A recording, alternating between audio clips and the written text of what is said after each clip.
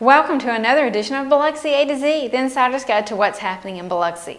This is being recorded for Friday, January 26, 2024.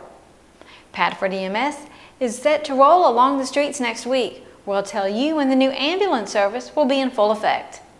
A special election for the Ward 7 council seat has been set.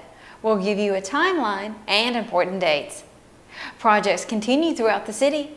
We'll tell you where you can keep up with the work and we'll take a look at the weather forecast and some events taking place in Biloxi this weekend. We begin with the new ambulance service. We talked last month about the approval of the new ambulance service for Biloxi. That service, Pafford EMS, is training and gearing up to be in full force in the city by February the 1st. Ambulances will be embedded in various fire stations providing basic transport and responding to emergency calls. The partnership will not only assist with response times and services, but will allow more positive outcomes to the responses. The Biloxi City Council has scheduled a special election for Tuesday, February 27th for Ward 7 residents. The special election is for the residents of that ward to elect a new city council member to fill the unexpired term of Ward 7 Councilmember Nathan Barrett, who resigned after being elected as the Harrison County Supervisor for District 5. Those interested in running for the Ward 7 seat have until February 7th to qualify. Those interested in submitting an in-person absentee ballot for the Ward 7 special election have until February the 24th. For a complete listing of dates and deadlines for the special election for the Ward 7 seat, visit online at biloxi.ms.us and click on the Voter Information tab on the left side of the homepage. The Biloxi City Council had a regularly scheduled meeting on Tuesday at Biloxi City Hall. During the meeting, the Mardi Gras shoebox float winners were recognized. Also, a number of items were addressed, including the approval for an uninsured motorist identification and stolen vehicle program to begin in the near future. Through the program, cameras will read license plates verifying if a vehicle has insurance.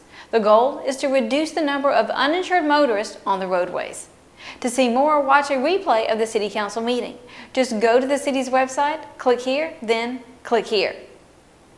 A number of city projects continue throughout the city, including paving, renovations at the Saenger Theater, and improvements at the A.J. Holloway Sports Complex.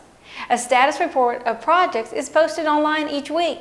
Visit the city's website and click on the Weekly Reports tab to see the latest information. The weekly reports also include reports from the fire, police, community development, and public works departments.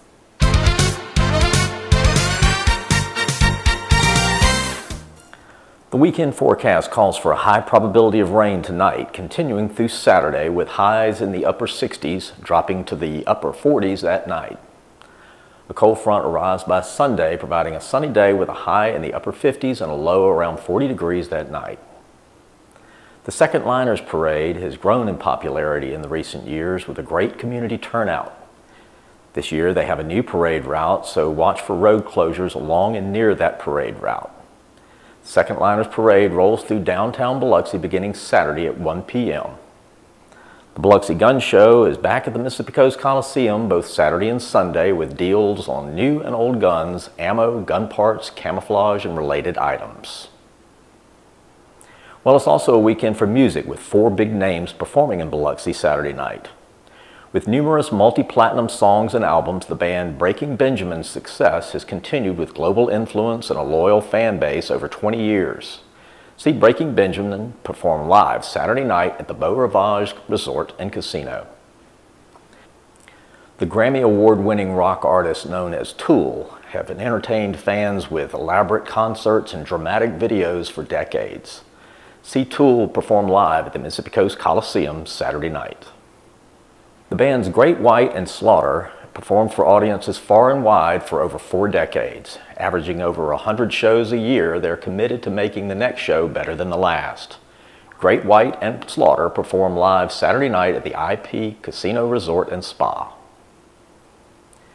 Tickets to this event and all of the events mentioned are always available by visiting the various venues' websites. To see a list of what's happening throughout the month, you can always check out the Biloxi Community Calendar in the new January issue of B News Monthly. It can also be viewed on the city's website by clicking right here. We leave you today with some shrimp boats at the commercial docking harbor on a foggy afternoon. Have a great weekend and we'll see you again next week.